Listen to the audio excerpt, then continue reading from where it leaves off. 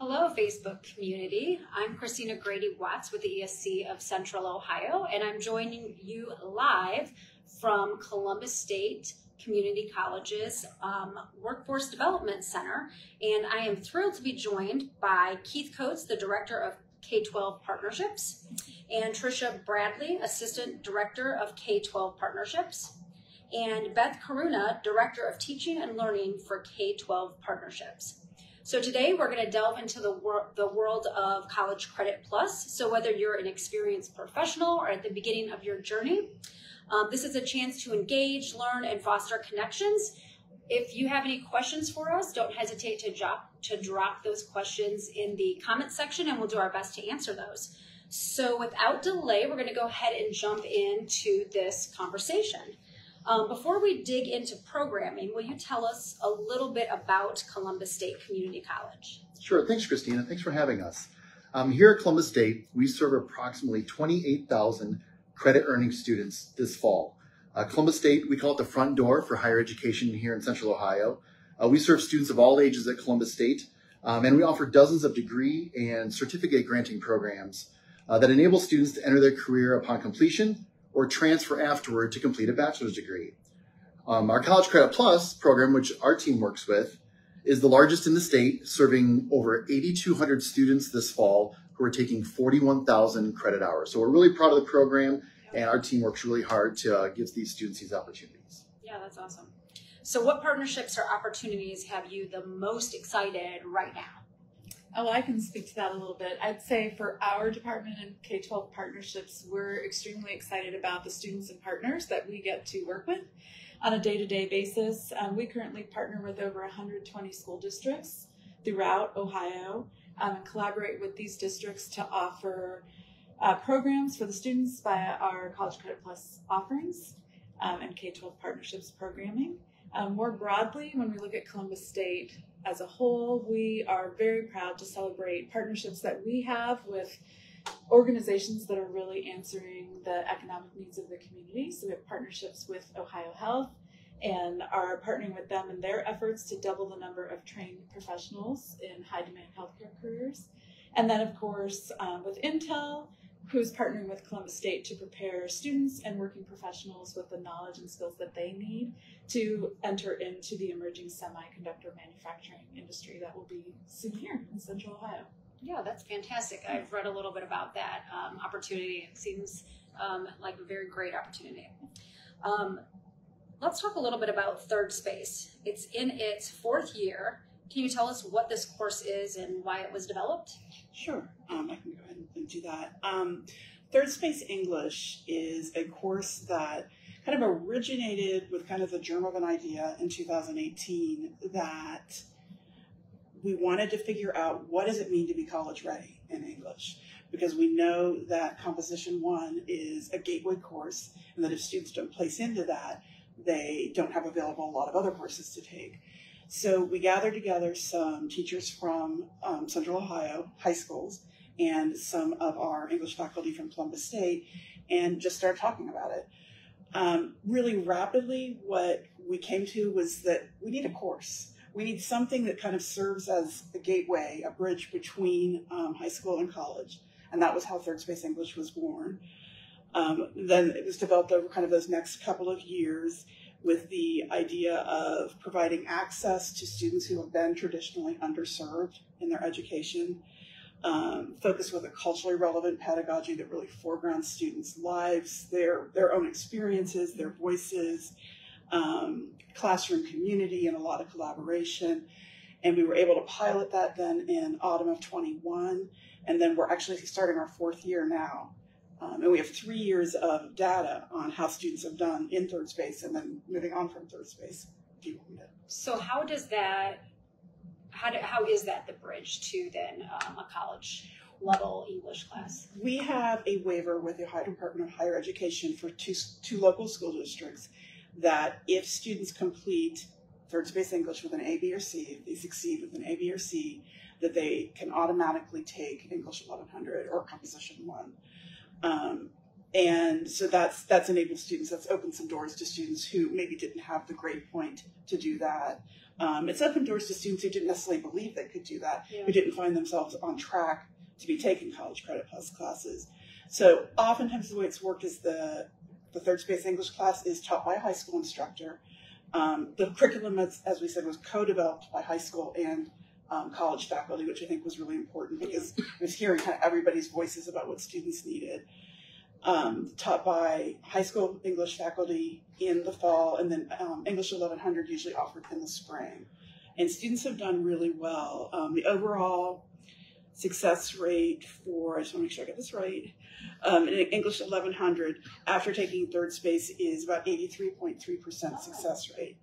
Um, that's a little bit lower than um, just like just regular CCP students, but those are students who have been on track to go to college. Right. And these are students that not necessarily were. So we're actually really happy with that number. And it's much higher than if they had graduated from high school and come and um, taken classes. Um, our, our students on campus have about a 61% success rate. So that's a lot higher for our third space English students. And we also just get a lot of good feedback from students who feel kind of seen and heard for the first time um, curriculum. So is that class offered in on Columbus State's campus, or it's offered in the high school? It's in the high school. It's in the high school. All right.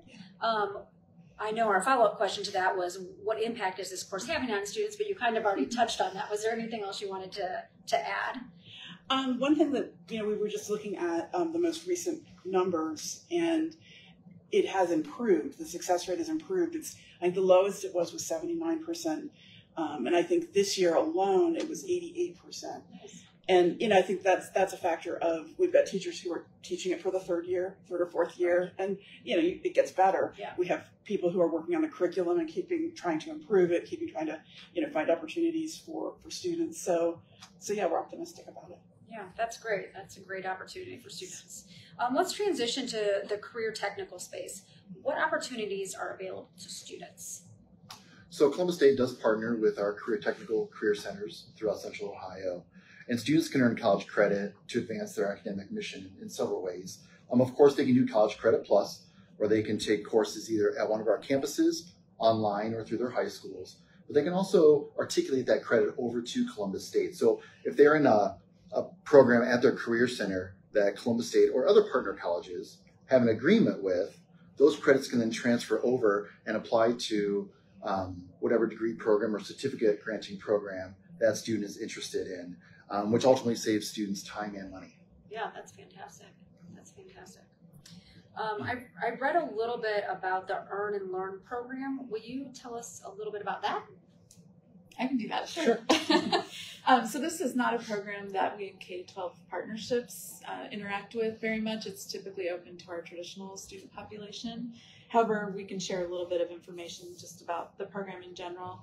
Um, essentially, it is a program that is very in demand by students because it allows them to become a part of an organization that where they can earn a wage while still learning and progressing in their academics in their chosen area. So, um, obviously, in a competitive job market, when you have that type of experience as a student, it's going to open additional doors for you um, and can be really advantageous for students as they are navigating company culture, things like that, and then advantageous for the companies as they're seeking to grow a pipeline of students who can be prepared um, to do that type of work.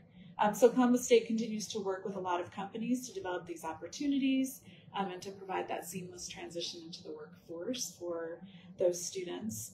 Um, and like I said, most of these opportunities are available for our traditional population, but certainly as our College Credit Plus students matriculate to become traditional students here, those opportunities open up for them and are great ones for them to explore. Thanks for sharing. Sure. Um, I'm gonna just throw throw a question at you. Before we started recording, um, we were talking about that cafe um, next door on your campus and um, the innovation kitchen, which is really cool.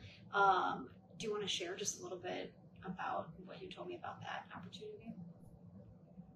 Sure. So, uh, over in Mitchell Hall, which is the center for our uh, culinary programs here at Columbus State, we have a working coffee shop and also a working full service restaurant.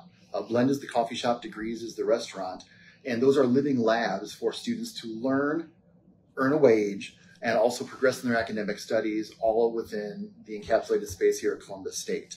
And so they are working active businesses um, that are pretty popular in the community, both to our, our folks that work and live and learn here at Columbus State, but also people just in the community.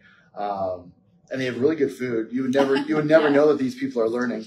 Um, they have full service staff and instructors that work there as well to teach these students, but they're learning how to operate a business, learning how to make the food, how to succeed in the culinary environment. Um, and we're, we're really kind of proud of it here at Columbus State. It's been open, I think, since right before the pandemic, so uh, just a handful of years, but uh, it's a pretty popular space over there in Mitchell Hall. Yeah, that's. I just think that's so cool, and it's easy to get to. You can just park right in front of um, the Workforce Development Center and walk over. So um, support those students. Um, Yes. One thing I would add, just specifically to K 12 partnerships, is it is a goal of ours to bring career awareness opportunities to students, really, even in the middle school Oh yeah.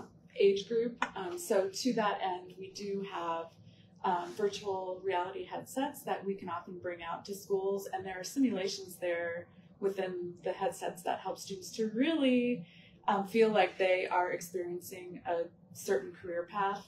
Um, like there's a medical one where you really feel like you're in there doing some sort of medical procedure. So it's really interesting for them to see and just going to open their eyes, I think, to different opportunities that may they may not have even considered before. And so bringing some of those career awareness pieces earlier on to students in their educational journey becomes important and is a goal of ours as a department to continue to foster those types of opportunities. Absolutely, we've seen a lot of um, middle schools interested in you know looking for opportunities Yeah. to to bring that exposure to students.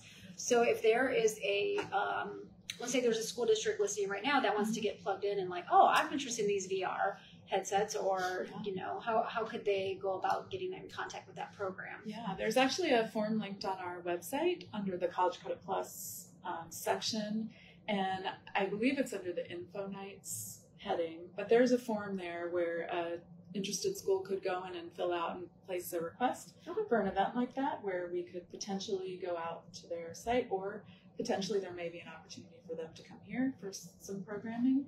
So Yeah. that's definitely out there. Yeah, that's great. And we'll go ahead, um, if you're watching this video, we'll be sure to locate that link and drop it um, in the, the notes or the comments so you can access that. Keith, I saw you make a note. Were you going to add anything? Nope, I just changed a word. Oh, okay. Thought I was being on it. Um, so, what do you envision for the future of Columbus State Community College? Where's it going? We're proud to be Central Ohio's, um, like I said, front door to, to higher education.